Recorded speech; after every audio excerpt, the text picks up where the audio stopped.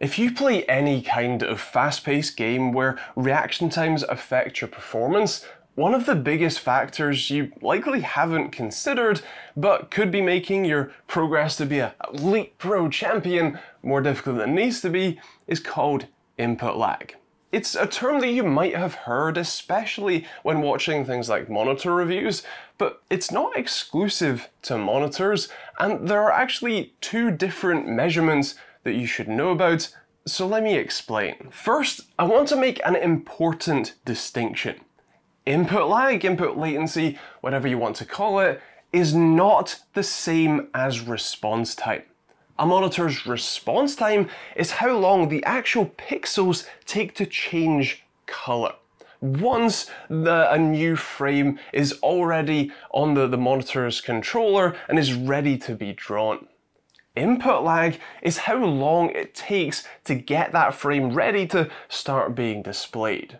Where you measure the, the sort of start point from, though, is the key difference between what most reviewers call input lag and what most of them would call total system or click to photon latency.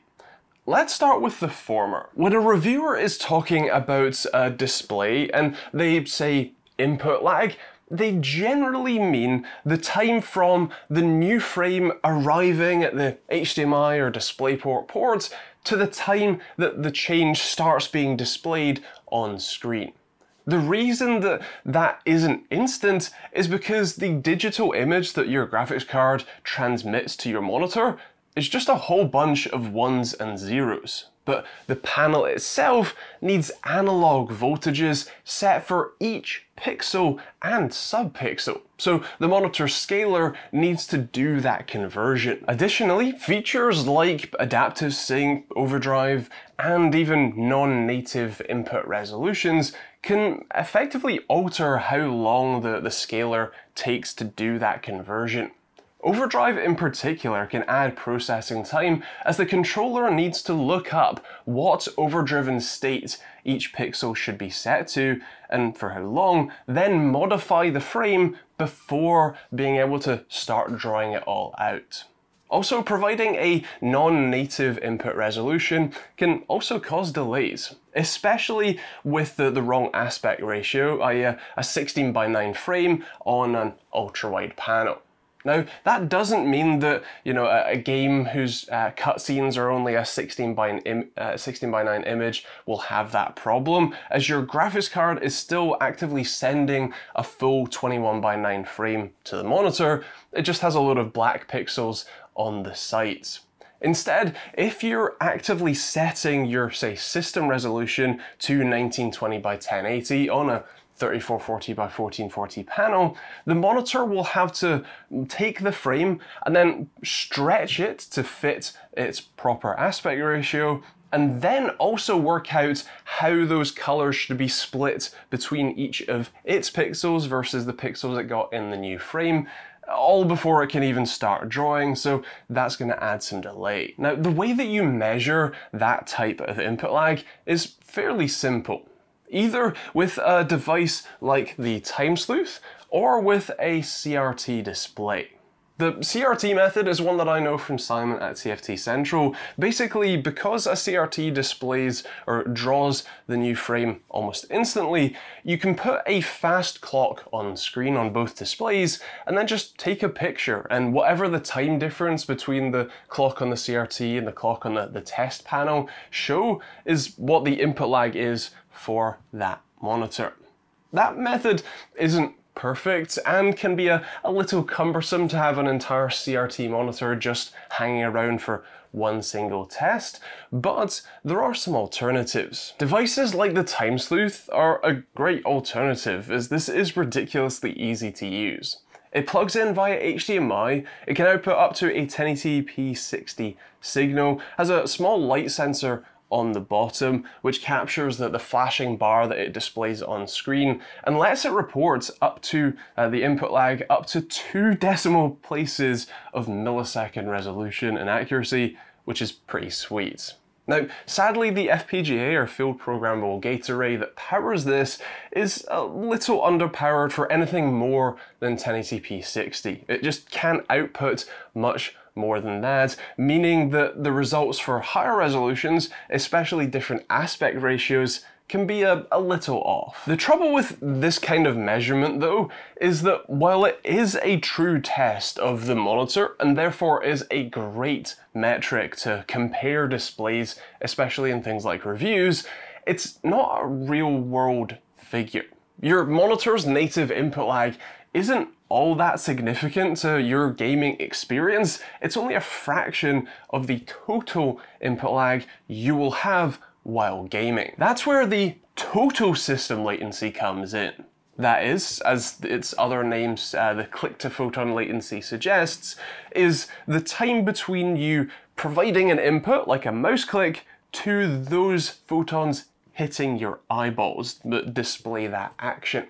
That, then, is measuring not only how long the monitor it takes to process that new frame, but how long your graphics card takes to render that frame, how long it takes your CPU to update the game and tell your graphics card to render it, and how long it takes for your mouse to transmit that action normally over USB. Since that is actually what you experience, it's a lot more of a useful metric for you, the, the end user, to know. Except it kind of isn't. See, unlike the on-monitor latency, the total system latency has so many contributing factors that you really can't compare between results that you're seeing on your system and the results that someone else is seeing, even on a similar system and identical monitors. Because the USB polling delay and the mouse debounce delay can be involved, that means that you already run a, a sort of, well, uh, with a standard mouse, anywhere between 1 and like 8 milliseconds of sort of tolerance straight away, just waiting for the click itself, the click signal to leave the mouse and enter the computer. Then you have the processing time. Depending on everything from your CPU and GPU and what you're using there and the rest of your system hardware to the in-game settings, where you are in the game, what you're doing, who's around you, all of that sort of stuff factors in to substantially difference the results between even just single runs, let alone systems, displays, all that sort of stuff. Take this ultra wide. Playing at the full 3440 by 1440 in CSGO on low settings, uh, uncapped FPS, and using NVIDIA's LDAT tool to, well, on the center of the display with no bots in the, the game on Dust 2, well, you get around uh, a rough average of about 22 milliseconds of total system latency. Now add in some bots, run at high settings, and well, you don't get anywhere near that. You get closer to 28 milliseconds average at good points, or more like 40 or 50 milliseconds when there's heavy action. That is a considerable difference despite being the exact same monitor, PC, monitor settings, exact same game.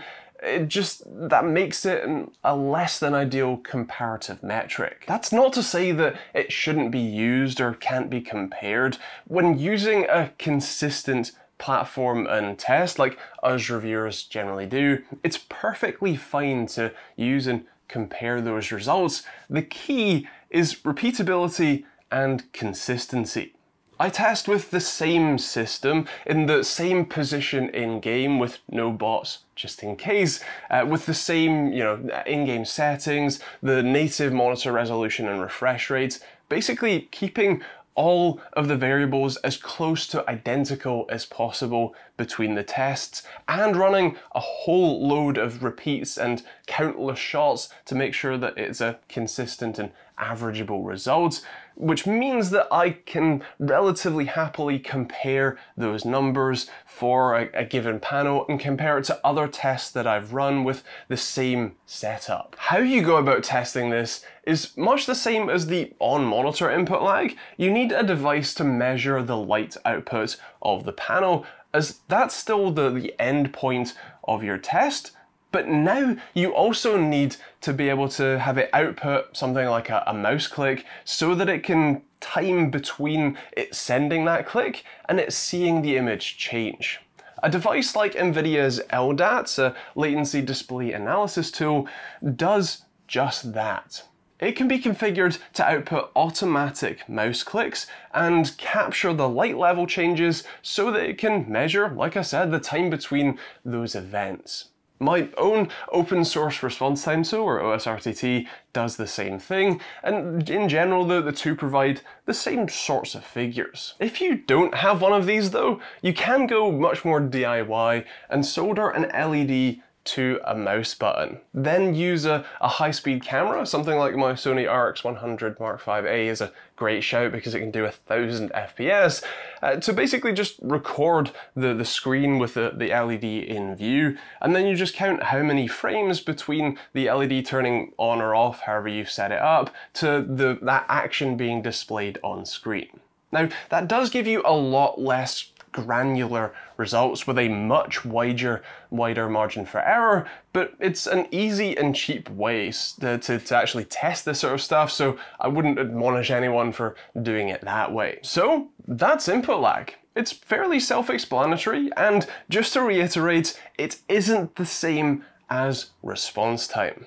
Lower input lag, both kinds actually, is always better. Although, for most people, the minor differences in their peripheral systems and monitors likely isn't all that big of a deal.